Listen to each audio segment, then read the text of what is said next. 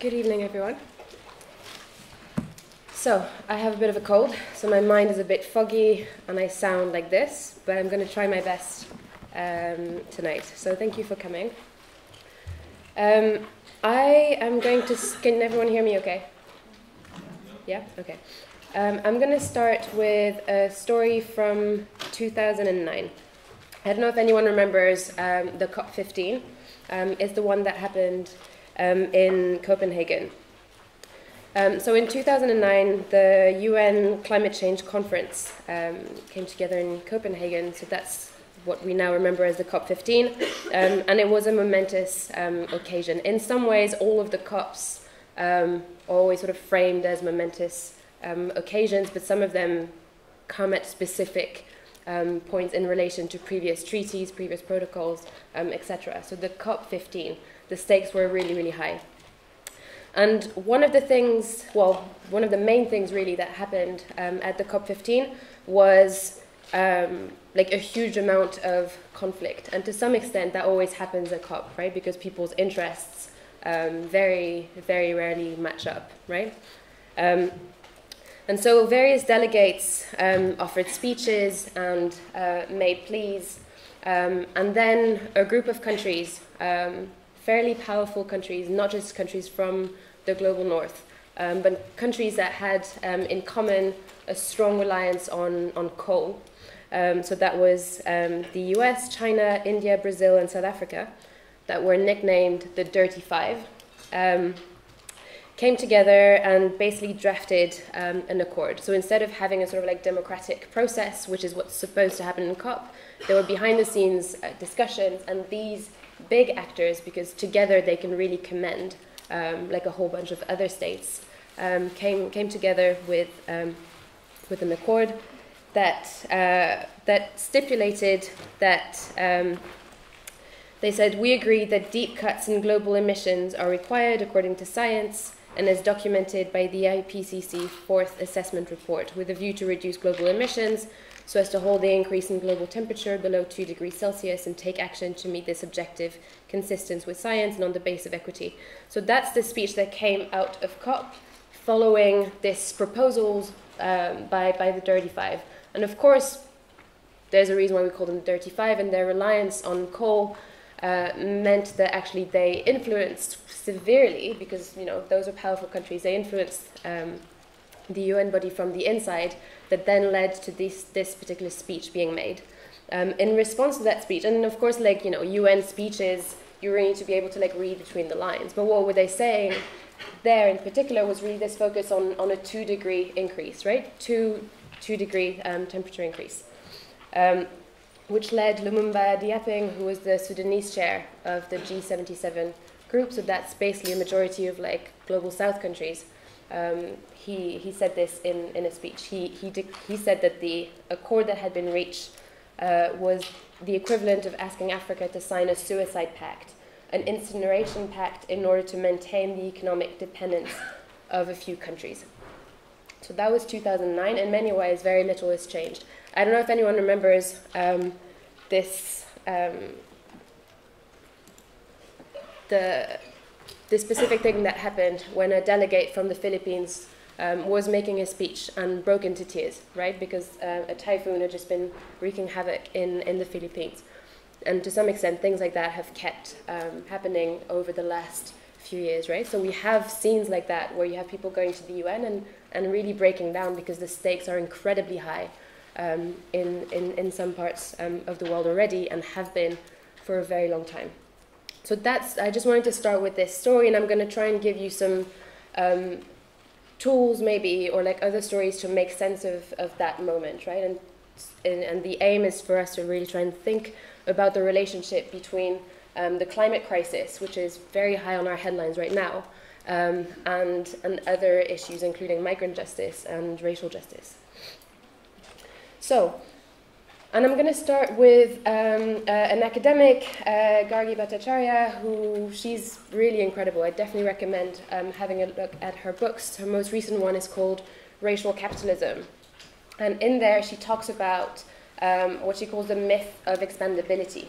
And there's this quote in the book that I find really um, useful as a, as a tool to, to make sense of some of the issues we're seeing now in, in the climate movement.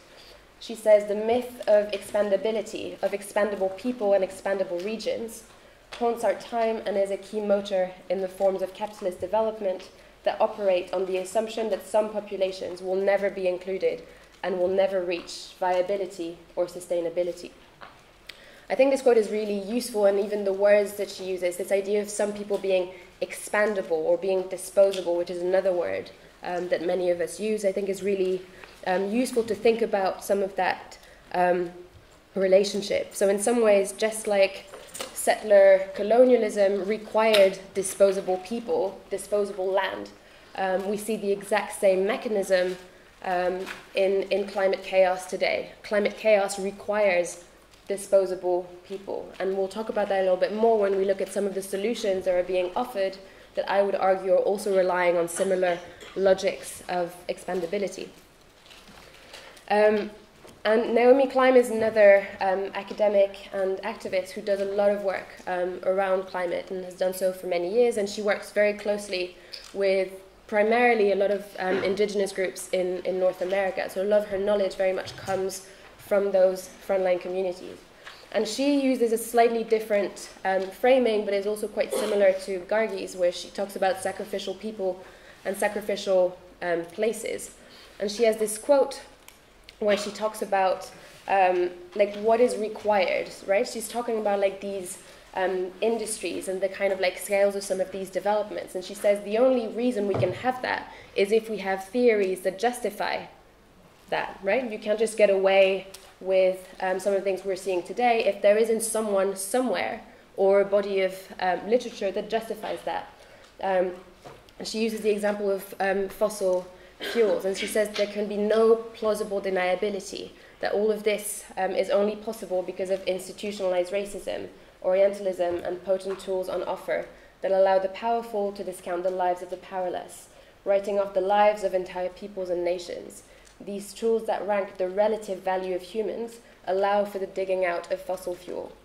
Fossil fuels so inherently dirty and toxic that they require sacrificial people and sacrificial places, peoples whose lungs and bodies could be sacrificed to work in the coal mines, people whose land and water could be sacrificed to open pit mining and oil spills.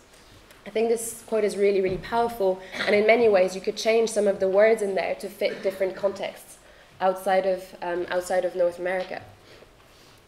Um, and in one of her um, recent books, she has this, this other quote where she says, To sacrifice an entire region, to blow up their mountains, there must be theories of othering to justify it. And about how the people who lived there were so poor and so backwards that their lives and their culture didn't deserve protecting. Um, so I think these these quotes are really um, I think they're really useful because they put it quite clearly this this idea of like the justification that's needed for for these industries um, to exist and for states to behave um, the way that they did at um, the COP15.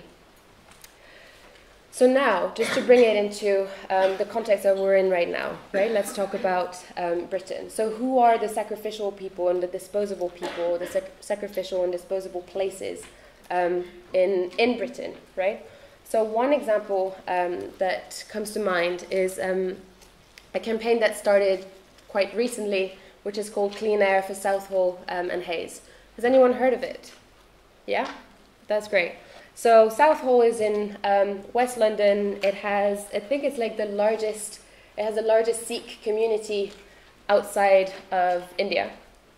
Um, and what's happening there is that there is a, a huge development that's underway uh, that was um, supported by Boris Johnson when he was mayor of London, um, whereby the Berkeley Group are going to have started to redevelop um, a former brown uh, brownfield site, um, on really like incredibly contamin- contaminated um, soil, and that's been a known fact for a really really long time.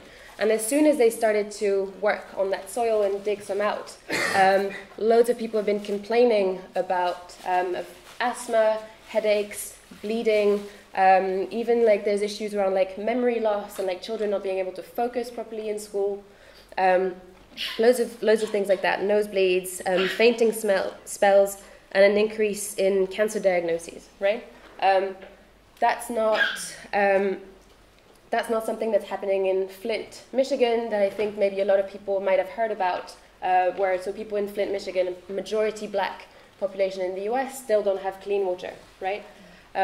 But I think what we're, what we're seeing in Southall is a very similar um, phenomena where developers can get away with, um, with these kinds of practices and where you have children growing up with um, asthma. And similarly, if you think about some of the dirtiest um, industries in, in Britain or the dirtiest roads, um, it's important to think about where those are located, right? So similarly, you have um, the South, the London South Circular, which is one of the busiest roads in, in London and in the UK, uh, which passes disproportionately, disproportionately through poor, which in this country also means um, the neighborhoods of people of color, right? Because it's impossible to talk about class if you're not also thinking about the relationship with, um, with race. Um, and I think some of you might have heard a few weeks ago from the mother of Ella Kissi-Debrah, Deborah, who, um, who died a few years ago after a really, really severe um, asthma attack, right? And her mom has been a campaigner ever since to really make those connections between air pollution um, and, and led very much by, by the City of London and the Mayor of London, um, and the way that that intersects with um, both class and, and race in, in her local community. So I think those links are clear, right? Where, where is it that you can put the busiest and the dirtiest roads? Where is it that you can develop sites on contam contaminated um, soil and have children just suffering from like recurring like asthma crises and, and nosebleeds, right?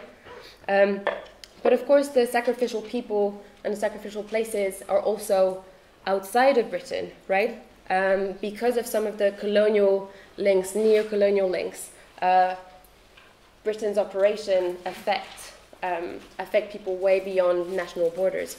Um, so there's loads of ways of, of looking at that. So for example, you have British companies um, essentially wreaking havoc across, across the globe, right? So in Zambia, for example, uh, Vedanta, which is a mining company, it's, uh, you know how like international uh, corporations sort of like sieges in like different countries, but it's primarily a British company that's also based in India. Um, there, there was a huge incident in one of their mining sites in, in Zambia, and they contaminated loads of um, rivers, and loads of people died.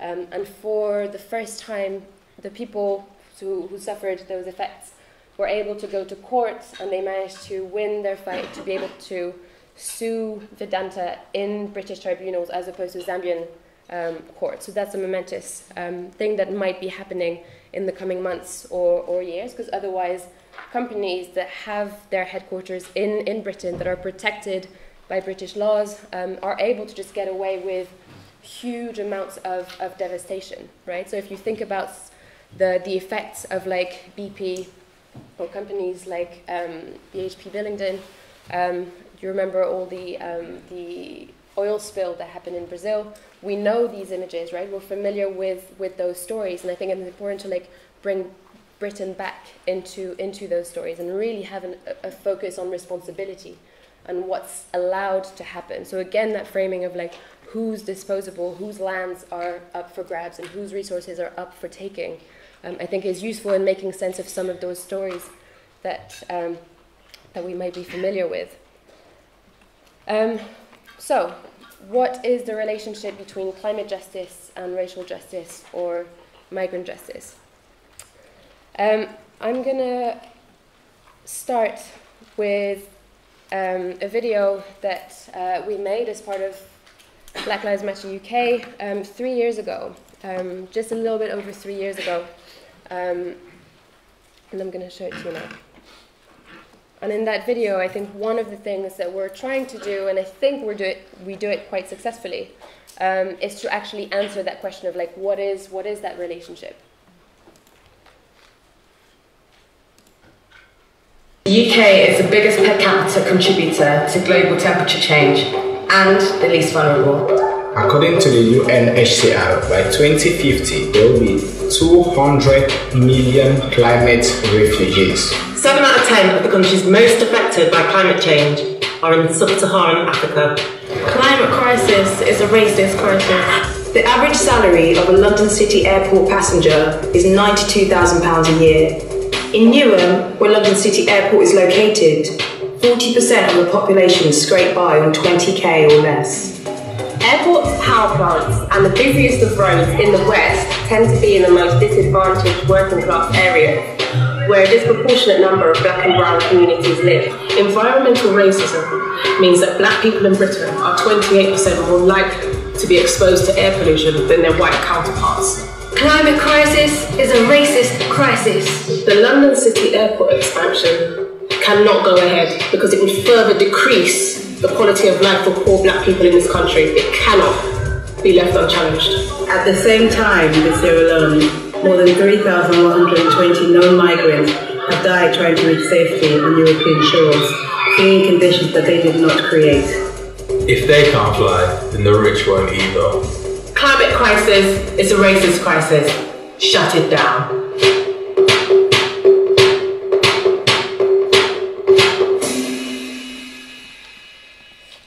So what we did in that video was we made three main points. Um, so the first one was really look at it from uh, from a local perspective, right? Like looking at what's happening in Newham, which is um, one of the poorest boroughs in London.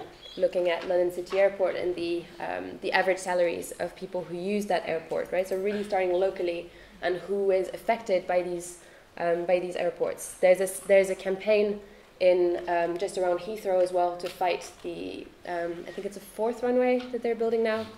Um, and similarly, it's driven by people who live um, around the airport who are complaining about what, what it means for them. So really starting from like that local perspective.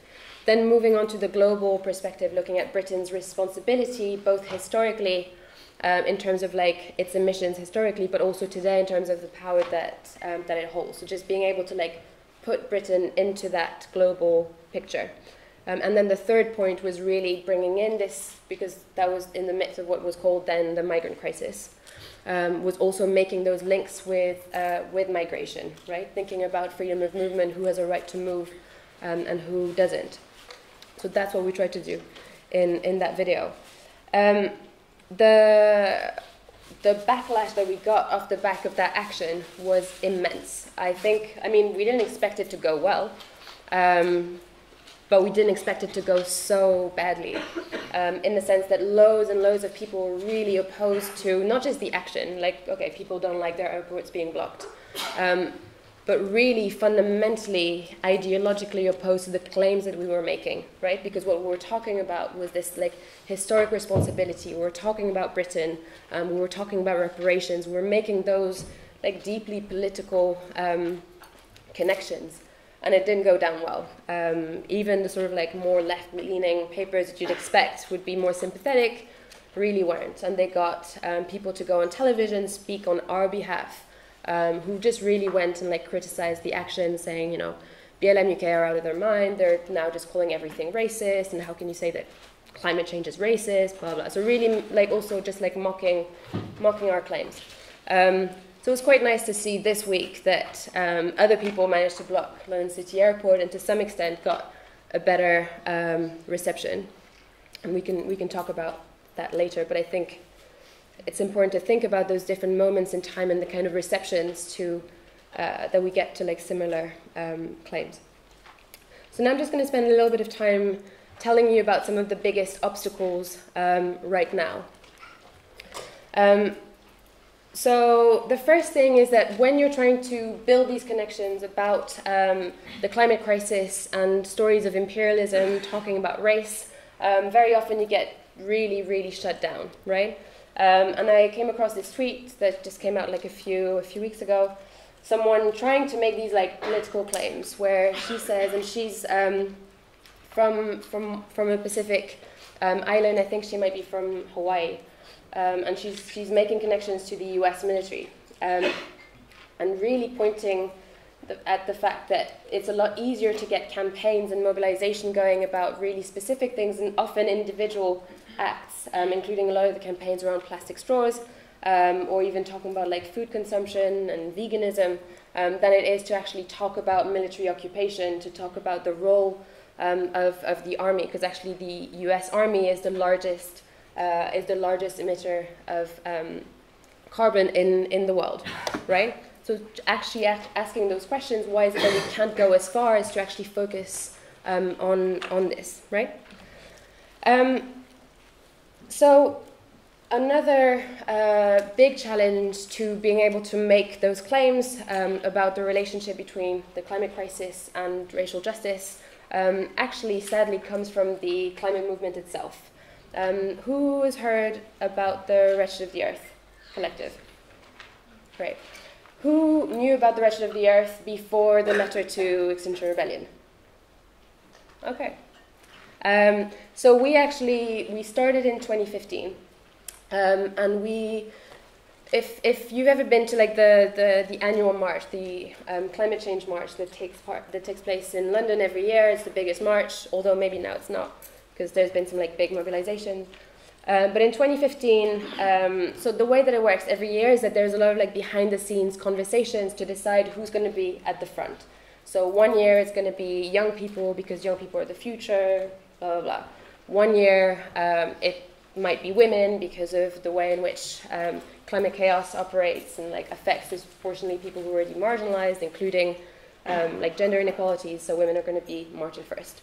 That year, um, the people had to like push really hard behind the scenes, and it was agreed that the march would be led by um, uh, a, a, block of frontline communities, right? So black and brown and indigenous um, communities were going to lead the march. So we came together, uh, a group like a, a, number of us, of um, a lot of dias diaspora groups, solidarity groups, um, and also the people who travel to be able to come to the COP, including a lot of indigenous um, people and, and um, human rights defenders who will travel to the COP and speak in the official um, sessions. So we came together, we renamed the block, instead of calling it Global Frontlines, which is a bit vague, we called ourselves The Wretched of the Earth, um, after a famous book by Frantz Fanon. And so technically, we're officially going to be leading the march. On the day we arrived, and we had um, placards like this one that said British imperialism causes climate injustice. Um, our big banner, which you're probably going to see in one of the next slides, said um, stop. What? Stop um, CO2 colonialism, your, your climate profits kill. Um, because at the time in 2015, one of the biggest agendas was um, talking about green capitalism and trying to think about um, like carbon offsetting and like all that stuff. So you buy a bit of forest somewhere and suddenly it's okay for you to pollute load somewhere else. So we're actually really pointing the finger at these practices um, of, of profiting from, from the climate crisis. What happened is that the organizers of the march hated our placards. They hated the fact that um, what they maybe they expected us to just show up in like pretty costumes and dance at the front and make it look, you know, nice and pretty and brown. Uh, but actually, we came with uh, with political messaging. So they put tall animals on stilts. So if you imagine the cast of um, the Lion King, you know, the really tall ones, tall giraffes, very beautiful, but that meant that no one could see our banners, no one could see our sign. They really hated this sign. They really wanted to take it down. They tried to grab it. Um, so then we did a sit in because we said we're not going to march until we can be seen. Um, and then they got people to overtake us, and then we folded the banner, we ran to the front, and we tried to march at the front. Then they called the police on us. Um, so it was a mess. That day was a really, really, really horrible, horrible day um, because we thought that the climate movement was ready and willing to welcome us at, at the front, as had been previously agreed. And then there was a stark realization that actually they weren't ready to have these um, conversations, and that it, it bothered them. Um, so following that, we, we formalized um, as, as a group, and we've been active ever since as, as the Wretched of the Earth. Um, so that's just to tell you a little bit about the context in, in the climate movement. And to some extent, I think some things have changed, um, but, and maybe we can talk about the extent to which this, this change has happened um, a little bit later on. Oh, that was the banner um, that was made, and then we changed our slogan on, on the day, given everything that was happening, um, saying we die first, we fight first, we march first. Um, to bring it to some of the things that are happening today, um, I think it's really important to one acknowledge the, the mass mobilization that's been happening in the last year and a bit um, in, in countries like the UK. So, of course, you have um, the youth strikers who've been at the forefront um, of a lot of this conversation. Um, and then a little bit more recently, Extinction Rebellion, grabbing headlines. Um, and I think there's something really positive to a lot of people joining joining the movement and, and getting involved and really trying to like fight for climate justice. Um, but I think there is some there are some issues in some of the framing that we're um, seeing. And one of the things I really want to talk about is the, the notion of green nationalism, what some might also call um, eco-fascism. So here I've got some of the starkest um, examples of like the, the worst kind of like eco-fascism. And I don't know if you've come across any of those stickers. I think these might not be from the UK, but there are similar narratives um, coming through in the UK. So on this sticker here, it says plant more trees, save the seas, deport refugees. Um, and then the big one over there says save bees, not refugees. Um, and the point here is that it's actually very easy to use the climate crisis as a catalyst for furthering um, far right agenda. So I think that's really clear from here. But I think, and personally, I think that that's some of the work we need to be doing always is when we're thinking about the far right is, is see the way in which those narratives actually permeate what we call the mainstream, right? Because yeah, okay, these are just some stickers and they're like really extreme and it's the far right and they're just, you know, doing their thing over there. But actually, we need to be able, when we're thinking about the far right, we need to see the way in which it's constantly in conversation with the mainstream and it's constantly pushing the mainstream towards the right, right? So one of the things that um, you might hear if you go to some rallies, some events, is um, a narrative that says um, that's actually anti-mass migration, right? Um, and it's happened. I know there was like a big mobilization in London Fields not too long ago by um, like a specific local branch of Extinction Rebellion um, that was actually saying, that was warning against the dangers of mass migration, saying actually what we need to be doing is we can't have a conversation that is about like opening borders. We need to close our borders because if, um, if we allow mass migration, then Britain is going to be even less sustainable than it is now. And if we're less sustainable, then that's bad for everyone else. So we need to make sure we need to keep people out in order to be able to move forward as a country. And maybe we can help them stay over there, right? So that's when you see some of these conversations permeating into the mainstream and even in what we might think as like being quite radical um, solutions. Um, and then more generally, if you think about some of the demands that are being put forward and some of the conversations that are happening now in light of all of the mobilization, you'll see that they're very much permeated by nationalist um, thinking, right? So the idea is let's just cut um, emissions, let's declare a climate emergency, let's shift the way we consume and the way we create um, power. Um, and then the question that many of us are asking is so, what is the vision, right? Does the struggle end when Britain reaches sustainability, right? Is the green economy for Britain the vision, right? What about everything that's happening beyond, beyond British borders, right? And thinking back to this notion of sacrificial people, sacrificial places, thinking back to Britain's both like historical responsibility, but also its responsibility today. I think many of us are trying to push the narrative and talk about reparations and talk about um, equity, right? And the, there's the, if you want to look into that, you can. There's um, a framing called fair share. Britain needs to do its fair share, and that means looking at the way in which Britain is currently actively preventing other people from developing sustainable solutions through unfair trade deals, through debt, um, and, and a whole bunch of other um, mechanisms that mean that actually, yeah, we might achieve some decent level of sustainability, we might build more wind power, um, but actually, if it's not, uh, if there isn't like a global, a focus on like a global um, solution, it won't really make make a dent. Um, so I think that's why a lot of people have been pushing for not just a national Green New Deal, but a, a global Green New Deal, which means thinking about like the financial um, structures of resourcing everyone to be to being able to um, lift um, themselves up. Um, I think there was one last thing I wanted to say, but maybe I forgot.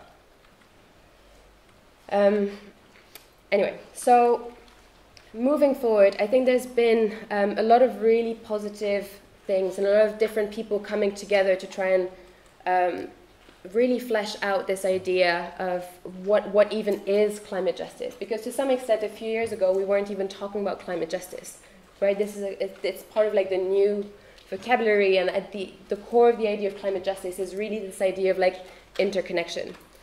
Um, so one of the things that um, we've done as part of the Wretched of the Earth was to write um, an open letter to Extinction Rebellion um, in May um, this year. It was really, really successful. It got translated into several languages. It really did the rounds, um, and we got loads of positive, um, loads of positive feedback. we also got loads of negative stuff. The negative stuff usually is along the lines of you're just taking away from the struggle. You're diluting this key message we worked really hard to develop. Um, so essentially saying questions of race and questions of colonialism are um, sort of like side stories to the main story of, of climate chaos. So some of the conflict is actually quite deeply ideological about like what exactly is is the vision. Do we have a shared vision or do we not? Um, but there was definitely like a lot of good stuff that came from that. Um, and so one of our, so at the end of that, we had some recommendations, and this is one of them, which I've already alluded to. So pushing for a global Green New Deal. So really taking um, nationalism out of our vision for climate justice. Um, you can find it online, and you can read, um, you can read the whole thing. Um, and so I guess like this is really some of what um, what excites me at the moment is different people really trying to shift things um, inside of their different spaces to build, um, to really build this vision in a way that's more collective. And there's a lot of conversations that are happening. And so I think this is quite, quite a key moment to be thinking about and acting on some of these things um, that I've talked about today and really building um, these, these connections. Um, in terms of still moving forward, I think um, so there's been lots of work that's been done for, for years, and lots of people have offered um, different kinds of um, solutions. But I think this, so the one on the right, really talking about storytelling. Um, so Joshua Virasami, who's also a member of um, the of the Earth Collective, um, wrote this piece for Consented Magazine a few years ago where he talks about the role of storytelling. And I think that's why maybe I'm bringing it here um, with a lot of you who are involved in, in different parts of like the arts, is thinking about what does it mean to interrupt um, storytelling. Um, and I think there is a huge role in, in really interrupting those, um, those stories we have about who are the victims of climate chaos, what do they look like, but also who are the people who are fighting and who really are at the front line of resisting um, the climate crisis, right? And I think that is a question of that is really linked to narrative and is really linked to storytelling. So we need to be able to tell different stories about what exactly is this climate crisis, right? Like what does it look like and who does it um, who does it involve? Um, so yeah, I might just leave you with that, and we can flesh this out um, a little bit more. If you want to find out more, um, you can follow either the BLM UK um, accounts or the Wretched of the Earth. And also, I'm not totally sure how that's going to work, but I brought um, a few copies of this uh, magazine by Consented, who do lots of amazing work um, with young people. Um, and they, they donated a bunch of magazines to us. Um, I wrote something in there that basically is a more straightforward summary of what I've just been telling you. And loads of people have written this, uh, so the content is really, really good. I don't know how it's going to work. Maybe you can explain. So yeah, if you want one, um, yeah, you can have one. Thank you. Um, all right. Uh, I, have I've got a, a, couple of questions. They're normally kind of recaps of the talk, but it was super clear, so I don't feel the need to do that quite so much. You mentioned a few times that things have changed since 2015, um, and I was wondering uh, what, what had changed and what experience what the difference was now and also why. Uh, I think it might be worth also saying a bit more about what the action at London City was. I think people probably picked up that there was an obstruction of the airport, which also happened a couple of weeks ago. Is that right? Um, but at that time, you're obviously kind of getting a lot of hostility both from the cops and the authorities, as you'd expect, but also what seemed uh, really important for the issues you were raising outside of those obvious forces of trying to stop you was the limitations from within the movement, mm. within the climate chaos, climate chaos movement. Um, and I was wondering what, why, if you could say a bit more about why you thought they were objecting at that point, and also what what the current state of because my general sense it was welcomed the, the most recent um, obstruction to London City within the movement anyway, um, and uh, I think you mentioned it in relationship to the march as well that you thought it would be a very different situation now than it was in 2015. Um, but what, why why have things moved on in sort of more favourable ways? Um, so about the London City Airport action, so there was a lot of resistance, and I think um, I think a lot of, similar to the march, people weren't willing or weren't welcoming of us trying to shift because well, in some ways the action was challenging some of the narratives of um, that have come from the climate movement, right? By insisting, by not making race the third point in, in the messaging by making race central to actually all three points. Um, I think that was quite uh, a challenge. Um, at the same time, the action was developed um, and was supported by part of, of the climate movement, right? Um, but I think it's really that idea of like how far how far are you allowed to go when you're challenging narratives. So actually, the city airport action was the second big um, action that we did as a group. The first one was just um, just about a month earlier where groups in London, Nottingham, Birmingham, and I think Manchester blocked um, either major roads or trains, or I think the tram in Nottingham. Um, and and the aim was really to call uh, to really point to all of the, the other forms of like structural violence so looking at um, police and state violence so looking at um, police brutality but also the effects of like cuts and austerity um, on black populations, looking at things like school exclusion, um, unemployment, um, and also looking at um, immigration. And that first action wasn't really welcomed, obviously, um, but there was significantly less pushback.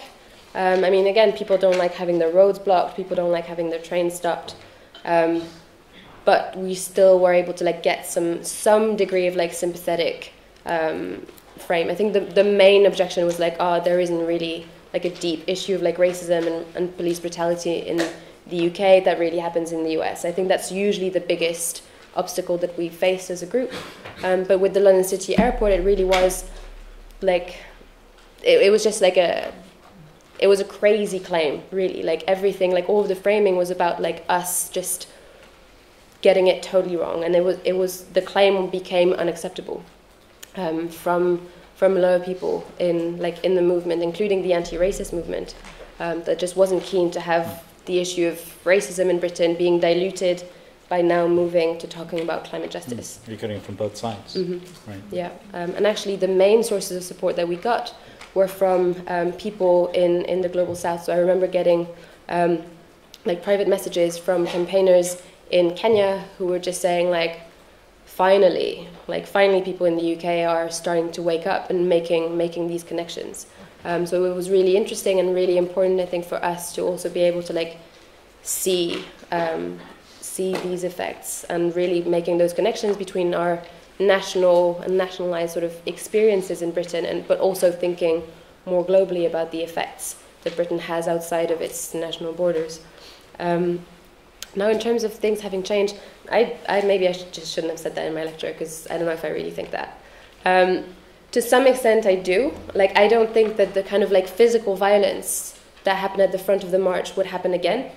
But in some ways, I think it happens all the time. Like every time that there is um, uh, a meeting or there people come together around tables of power, uh, more or less close to the climate movement, and none of us are at the table, or the solutions that come from there don't speak to our lived realities and the lived realities of the communities that we come from, um, I think that it's the same. It's the same kind of violence, mm. right? Mm. Um, I think when people come together to design um, proposals for um, the conversation for the Green New Deal in Britain and all of the solutions are really nationalistic in their thinking and in their framing, I think it's the same kind of violence. Um, and I could go on. I think there's actually still a lot of examples where where you can see that erasure. That's not just a question of like representation. It's not just about having more black people on the table or brown people on the table, but I think it's really about like what is your vision for climate justice? Does your vision for climate justice acknowledge um, the experiences of, of communities that aren't represented at that table? Um, and I think that's I wouldn't, I definitely wouldn't claim that that's fundamentally changed and that something like that wouldn't be possible Mm. today because I think it, it's happening um, all the time. All right, I'm going to ask you one more question in two parts. Um, I mean, it seems it seems pretty. I mean, it's kind of pretty basic social analysis that inequality is differently distributed, Mhm. and some people are more victims of inequality than others, and you can have kind of sociological categories around that. So you're saying you can't you can't extricate race and class in the UK or the United States or anywhere across Northern Europe, um, if, if if the world. Um, so it seems kind of pretty obvious that uh, if you're dealing with climate justice, you're going to specific. It, it pans out differently in different places, and so there's a kind of sociology to what the uh, climate violence, or climate how, how climate chaos, who it visits itself upon. So you know the, the example in Southall, you mentioned Flint, and so on and so forth. I mean that, that seems like a really basic and obvious point that there's a sociology to this and it's different, differentially distributed. What's the resistance to understanding that within the, the mainstream climate movement that you're struggling with? So that's that's a kind of uh, why why is there a wish to not acknowledge you know, the, the kind of class and race differentiation, uh, which impacts different people differently? And I guess the other side, which um, I just thought about when you answering the previous point, my understanding is that Black Lives Matter started in the U.S. as a response to police brutality and police violence, police killings against uh, young black people mainly, or just black people, um, who were kind of disproportionately uh, targets of aggression. Um, but this is a very different type of politics to that in some ways. It's obviously there's structural racism in both cases. Mhm. But I was wondering if there'd been any, um, uh, yeah, just what's going on within Black Lives Matter internationally um, in shifting the focus from the kind of uh, targeting, police targeting, to this kind of much more distributed and sort of la- it, it's it's a much less specific problem in some ways. Right? It's not like you can say the cops are bad. Mm. It's like there's a big problem that everyone's involved in. Um, and so whether there's a kind of discussion within Black Lives Matter uh, the different kind of aspects of it. No one said they weren't bad. Um, so the first question about like why is there so much resistance to a claim that's pretty simple, really. Um, I think. I mean, I, what immediately came to mind when you were saying that was just thinking back of like a few years ago when I was really cutting my teeth into activism and sitting in like organizing meetings or whatever and hearing something and wanting to respond and say like add something to what was being said um, so starting in like just traditional like left groups um, and just thinking like oh i guess they're not really talking about like this specific thing that i know happens right when you're poor but you're also black. Um, and i think it's that because often if you do at least when i used to uh, you can get like quite immense amount of backlash right because these are they're not just disagreements about like strategy and tactics, but some of that is like a there's ideological disagreements. Similarly, in um, there is conflict within feminism, for example, about like what like what is a feminist um, vision, and very often if you come from more marginalized um, communities or you're trying to like bring that into the canon right? It's not just saying we can add that as like the final the 10th point but actually how do we reshape it so that it fundamentally addresses it um, like throughout? Um, i think you can face quite a lot of like violence and you see it all the time especially on social media you see people facing immense amount of backlash for just asking for these shifts to happen so a lot of the campaigns to um, decolonize the curriculum, for example, face huge amounts of backlash because what they're asking is for actually quite a fundamental shift in the way of thinking. Um, so you might have, yeah, people being quite fundamentally ideologi- ideologically opposed to that. And to some extent, I think that's some of the conflict that we see with some groups now who are like ideologically opposed to stretching the idea of climate justice to include things like migrant justice or racial justice. When actually, what we're saying is that if you achieve climate justice the way that we envision it, automatically you would have had to achieve migrant justice and racial justice because you can't have you can't have climate justice with like militarized borders, right? Like that wouldn't be climate justice. It'd be something else. It might be a green, sustainable Britain, sure, but that's not climate justice. So in some ways, it's an ideological conflict that's not just about strategies, but it really is about this vision. So that's, I guess, that's how you can explain the the conflict that then might come from different groups. People saying like, no, you're taking away from like our class analysis. No, you're taking away from like our tight, sexy messaging about climate chaos. Um, so I think that's for your first question. Um, the second question that was about um, some of the work that's happening in like Black Lives Matter in the U.S. Um, I think it's really interesting, and I think in some ways it's also linked to this um, this idea of storytelling. That the way that um, we in the UK, but also I think maybe globally, the idea that um, Black Lives Matter is primarily focused on police brutality I think in some ways a way of pigeonholing what black liberatory, liberatory activism or anti-racist organizing looks like. Because actually from the very beginning, they were constantly making those connections. So the, the fact that loads of people were nodding when I was talking about what's happening in Flint, Michigan, um, that came from Black Lives Matter organizing, right? They were there mm. and they organized it, and it was, and then it became like a national focus. And actually, so there's a, there's a bunch of um, BLM groups in, in the US, and there's also like one sort of like parent group um, that's always been part of it. And so they're doing loads of work on like um, like prison abolition. They're doing loads of work still in in Flint, and also after Hurricane Katrina, those links about like environmental racism and what mm. happens after devastation, those links have always been there.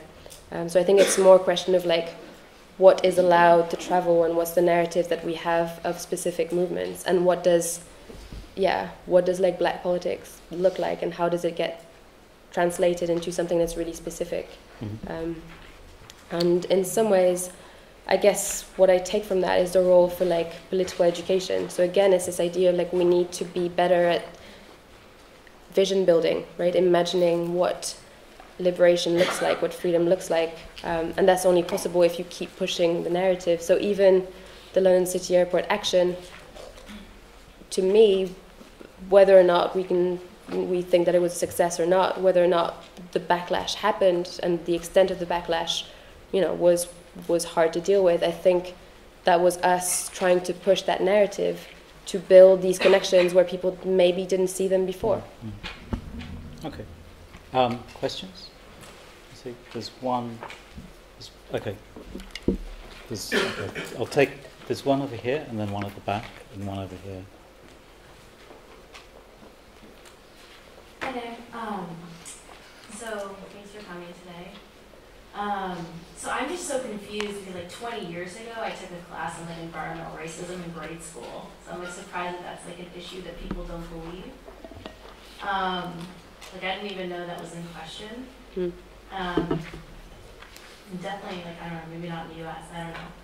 But I guess my question is, since environmental, like climate, racism, unlike other social issues, could actually be solved by technology, is there has anyone ever considered getting behind technologies that could solve certain issues, like coming up with solutions as opposed to like ideological arguments, and like would that be more effective? All right, that's a good start. Um, take take these two, and then, and then if you respond to these two, the next question. So.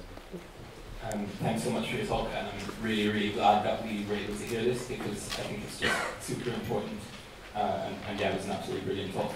Um, I just wanted to ask, um, again, leading, like uh, about the climate movement. To what extent um, do you think it's harmful for groups to frame things like climate crisis around like conceptions like extinction and conceptions like uh, chaos um, in a way that seems often removed from the consequences that these, these things have on the lives of people that are incredibly marginalized. So it seems to me like extinction is often this thing that talks about like a break um, or like the end of humanity. Whereas what I feel is the real kind of damage that's likely to be caused by a climate crisis is, you know, the, the, the duration leading up to it, uh, where, you know, um, the state is likely to step in and protect the interests of the people who it has traditionally always protected, whereas it won't. Uh, for those who are already marginalized, and for me, this is why like climate is such a race issue. So I wanted to ask, like, to what extent you think that kind of side of the messaging needs to be changed around climate activism. All right. Can I see if there's any more questions on this side? Just because Avril's going to have to run over there in a minute. No. No. Okay. Do you want to take those two? Yeah. um, both are really good questions. Um, the question about the like the role of technology, I think is a really um, it's a really good question. I think it's a really important one. Um, I think my simple answer to that is that if you don't address the the mechanisms and some of the stuff that I talked about at the beginning of um, the presentation, I was talking about like who's disposable. Um, so if you're relying on the same logic, technology is not going to address that. So for example, um, I remember just a few months ago there was this like massive like double pager in the Guardian that was talking about um, one solution would like the, there's like this immense um, amount of like land in the Sahara, and we could just put like a billion or whatever um, solar panels in there, and that would give us enough energy.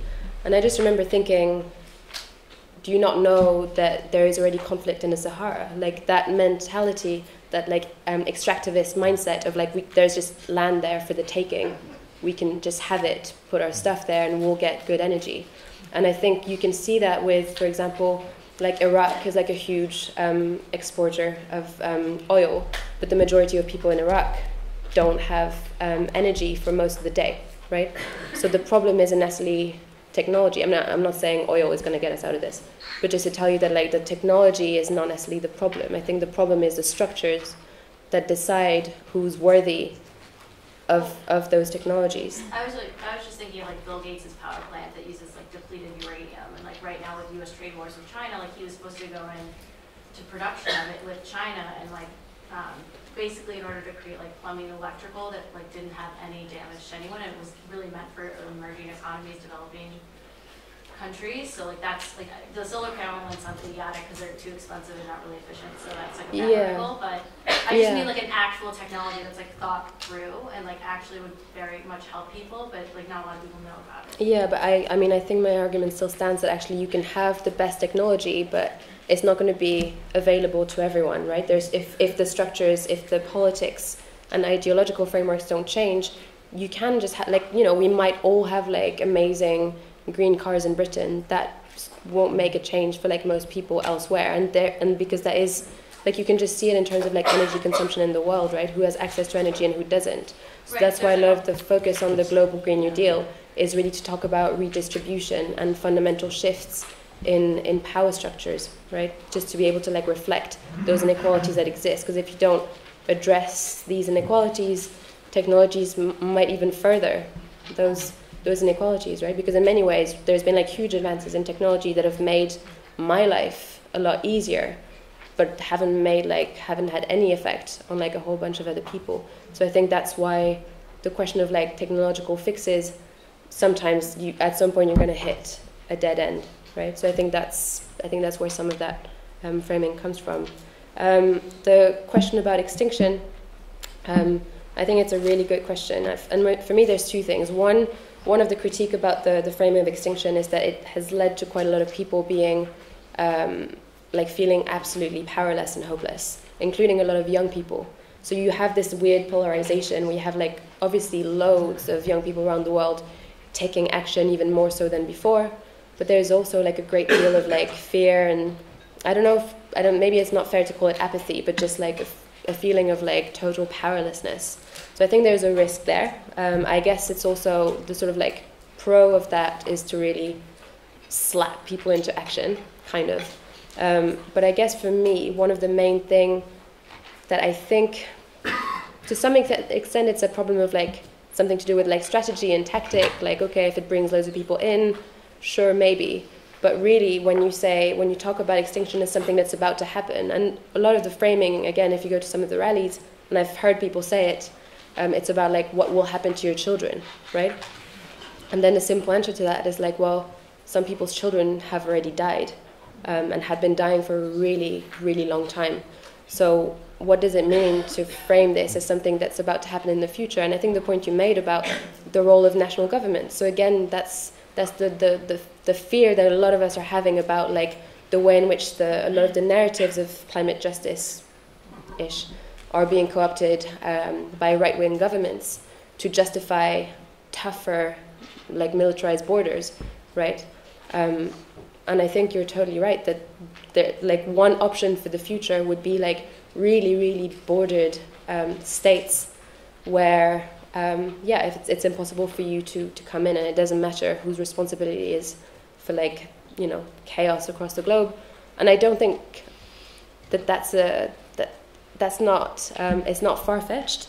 And I think it's quite easy when we're sitting here in London to think about like militarized borders as ah, that's never going to happen. But it's been happening for decades, right? Like Frontex, which is the armed um, institution of the European Union, um, we have militarized borders in, in the Mediterranean, right? They've, it's been reported um, that Frontex have shot at boats trying to come in.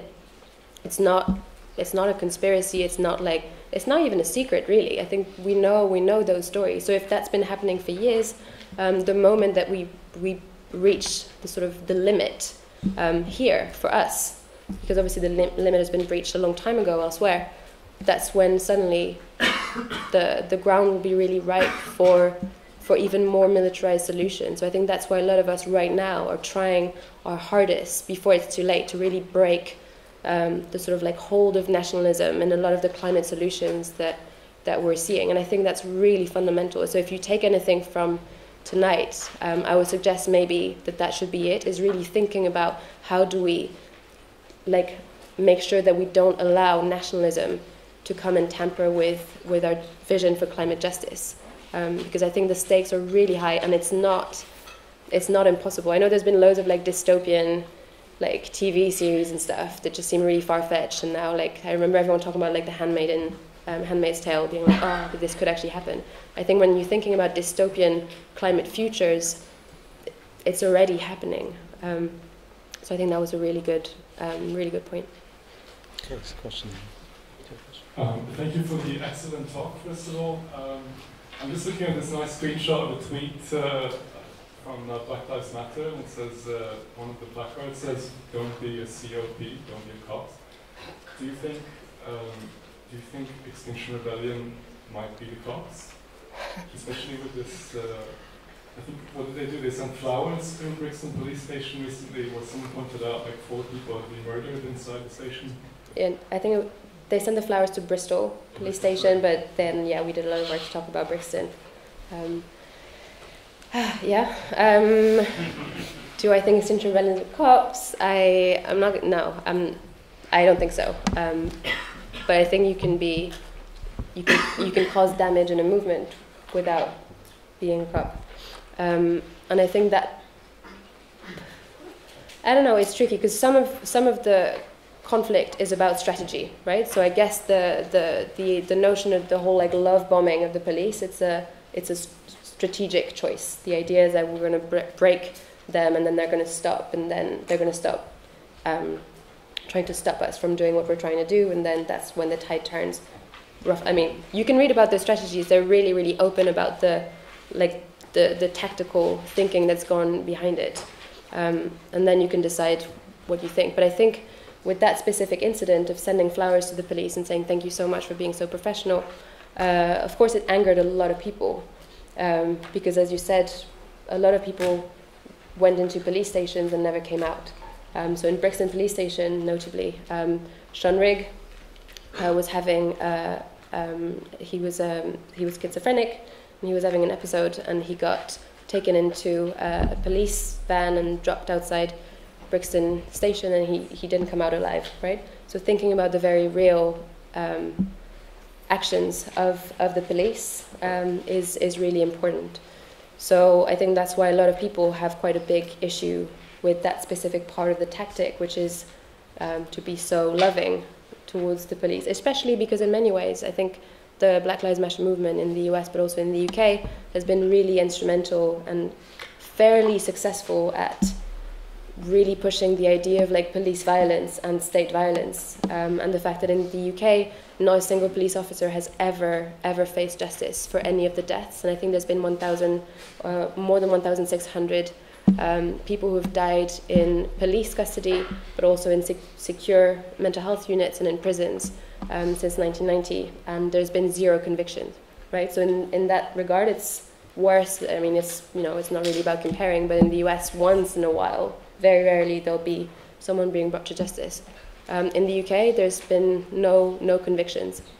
So I think to now have one of the biggest, for some maybe the most exciting movement in town, um, really undoing all of that work of really pointing to the deep, deep issues in um, not just in the police as an institution, but all of the institutions around the police that enable cops who, who have killed um, to still be um, in the force. So, for example, Jean Charles de Menezes was um, shot um, in Stockwell Station, uh, and the commanding officer for that is uh, Cressida Dick, who is the current head of the Met Police. So, you can be the person who says, yes, fire.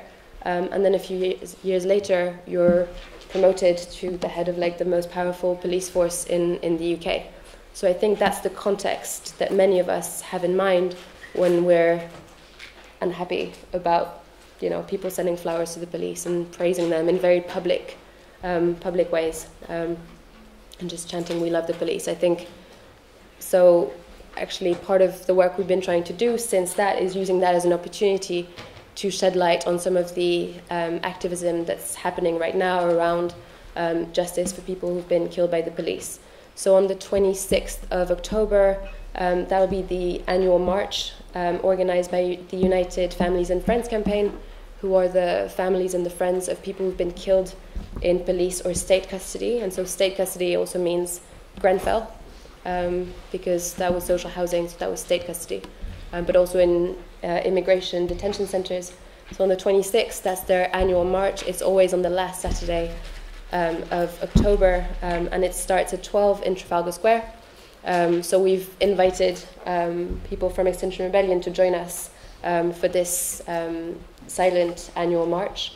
Um, and yeah, we hope that some people show up because I think that has to be part of, of the story, um, especially because the third demand is to be beyond politics. So if be, being beyond politics can include sending flowers to the police station, surely it should also include showing up for for the friends and the families of people um, like Sean Rigg, like Jean Charles de Menezes, who have died literally at the hands of, of the police.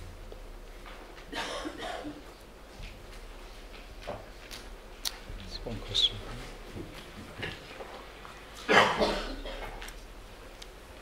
Hi, uh, I have a question about the way you see uh, climate activists navigating media coverage and I guess the notoriety that some of them are given due to the activism because I guess obviously activism benefits from a little bit of coverage because more people are aware of issues, get involved, and then some change may occur.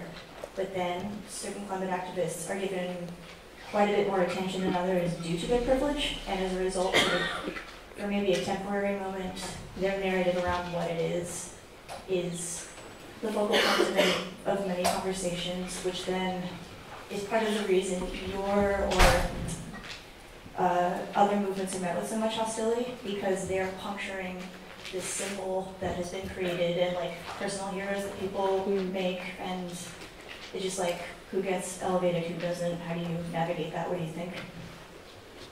Yeah.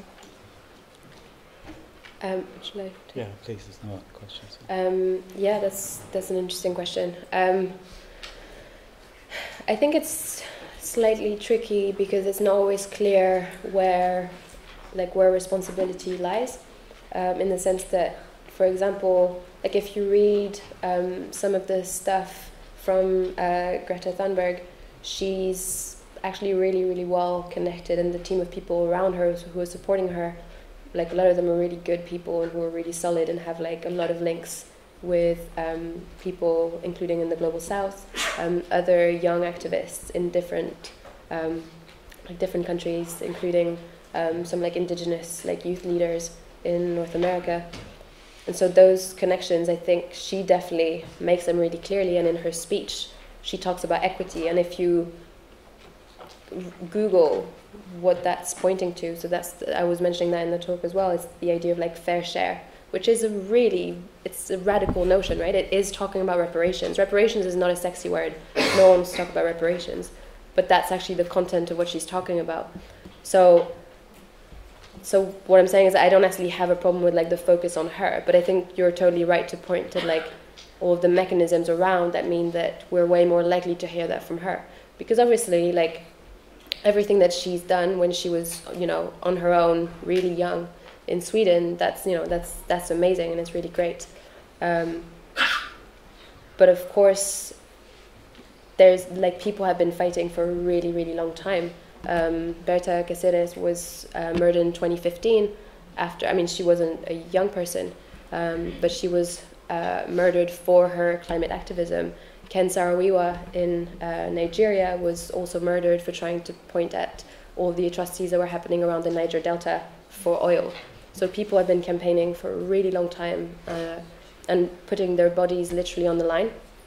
Um, and so I think part of the work is to be able to like acknowledge that, but not just in a visual representation kind of way, but like deeply acknowledge that there is so much resistance that's happening elsewhere that we're totally unaware of, um, and that we should actually be immensely grateful for, um, because who knows how worse things would already be if it wasn't um, for all of that. I think there's a statistics um, about indigenous people being 5% of the population, yet um, responsible for preserving 82% of the world's biodiversity, right? Like that's that's an incredible statistic, um, and I think that's the kind of stuff that gets erased when we um, focus on individual heroes. And I don't think that's a problem just in the climate movement. I think it's generally right. I think um, it's like Black History Month right now, right? Yeah. And what you have is very often like focus on individual heroes, which are like that's really important because sometimes that's how you remember stories is by remember like this one name and this one name. But what you miss out on is stories about movement building and how, how that works and connections within the movement and how like different like individuals sometimes can really create like large spaces because actually what we need to think about right now is beyond like the role of individuals and really thinking about the role of like collectives and movements and yeah, including mass mobilization. So I think it's a bit of a double-edged um, sword. But I guess the mechanism of erasure, that it just it always happens. So I guess it's about being aware of that and just whatever you hear, just keep in mind that there's so much more, and then it's on you to like look into what else um, what else is going on and who else is is moving um, in in those ways. Can I ask a question? Yeah. Okay. I'm just going to ask a final question because I don't see any others unless I'm missing somebody. You've already had your chance. Um, so it's, it's basically about, this point you finished on about building movements, and I'm kind of struck that um, BLM UK and Wretched of the Earth have been through a huge series of conflicts. In a way, it's kind of a, it's a, a the Earth is born out of mm. the conflict in 2015. Um, I'm, I'm quite struck that like through your discourse and through all of this, you haven't really gone into like cancelling culture and sort of like we're never going to talk to you again because you've kind of offended us in some way, or which is kind of really common now, especially through social media, and Twitter, and the rest of it. Um, so I'm just wondering if there's, an, I, in a way, I think because social media and that kind of, um, uh, for me, it's a sort of representation of virtue. It's, it's a kind of meritocratic representation of virtue in that everyone has to demonstrate that they're the most virtuous person possible on social media. But you always end up with these kind of like horrible conflicts and people kind of become much more atomized and entrenched in the views and, and what Wretched of the Earth and the uh, movements that you've shown seem to go completely against that and continue in the coalitions and continue in the movements that nonetheless try and uh, limit and constrain the importance of the work that you're doing. I wonder if like, you could speak a bit about how to do, how to withstand the kind of like the obvious conflicts and kind of look past them, or kind of negotiate them, or try and engage with them productively for the goals of the movement? Yeah. Um, in some ways, I don't think I'm the best person because I think sometimes it can be really difficult. Um, personally, I am really committed to movement building, um, but it's really hard work because, um, and especially when it's quite easy to like like some of the narrative we're seeing now, on, including on social media, is the idea of like you know we have to agree to disagree. When the whole thing with like Ellen DeGeneres and um, Bush and like the idea of like you know sometimes you can be friends with people and you have to agree to disagree, but actually what was happening there was like a, that's a deep ideological mm. conflict, right? Like that's someone who is head of state and who is personally responsible for the death of millions. So it's you don't just agree to disagree. You need to acknowledge that there is a deep conflict and actually your opinion is like rests on dehumanizing and like genocide. Yeah. So you so at some point you do need to be able to like draw draw a line. In terms of movement building, um, I think it's also quite easy at times to see which um, like how to build alliances. So, for example, the youth strikers have been really, really phenomenal and very open um, as as they've been coming up in, in in the UK and really they've been reaching out lows to try and like get um, like support and resources and try and figure out like how to not replicate um, the issues there are in like the wider um, climate movement. So there's you can one you can really see when people are like up for growth and learning. Um, so that's the first thing, and then it's it's it's tricky. I think with like big movements, it's about being able to see differences in institutions and differences in power. So there might be a difference with the way you're going to interact with someone um, from like a, a local group of like Extinction Rebellion who's just finding out about this stuff and it's just like, oh, that's really interesting. I want to know more. and then some of the people who are the actual architects of the movement, who are, who are the ones who are putting the the, the message of um, we need to go against mass what they call mass immigration. Um, so it's like actually can we work with you? Right now, maybe not, uh, but maybe there's different ways of engaging. So it's about thinking strategically about points of intervention. And I think as activists and organizers, you you have to be looking for the points of intervention. And someone is about acknowledge sometimes about acknowledging that's just not going to work right now.